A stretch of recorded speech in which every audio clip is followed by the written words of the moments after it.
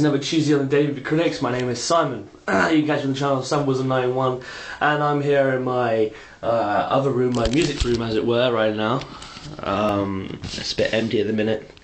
Uh, but I'm going to review the movie Zombie Strippers, which came out not long ago. It's a bit of an independent movie, for you and it stars um, Jenna Jameson and Robert Englund and a few others. And this movie is so fucking weird, I can't even describe it. But basically, uh, a zombie virus breaks out in some sort of controlled area, and there's a special team of people that try to control this.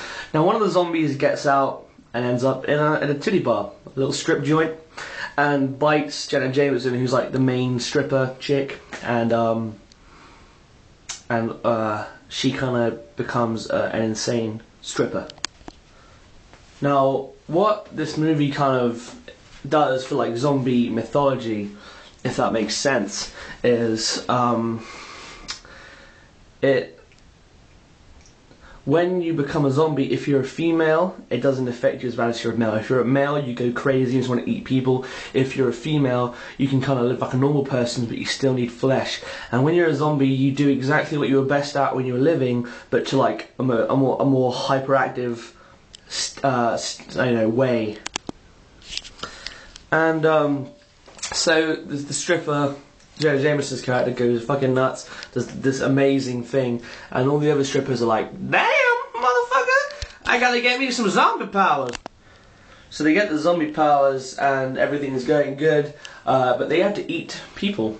So the people that eat also turn into zombies, and they're in a cage downstairs. They're doing their zombie thing. They start to rot slowly, and it's really fucking weird. Half this movie is just chicks, really, really hot chicks, by the way. Just saying, chicks doing like zombie strip dances, and it's got really good music in this film, by the way. Awesome music. So if you like looking at hot chicks and you like looking at zombies, this movie's pretty good. It's really fucking funny and cheap as fuck. It's gory as hell as well.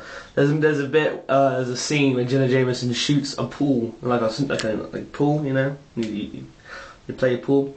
It's like a like a ball, like a pool ball, out of her um, for JJ, and it hits another zombie girl in the head. It's pretty fucking funny. So yeah, uh, this is me, Simon. You catch the channel Simon 91. Like I said before, this is the Daily Movie Critics. I'll be doing two months of nothing but zombie films. This is week number two, and I will see you next week. And um, have a good week.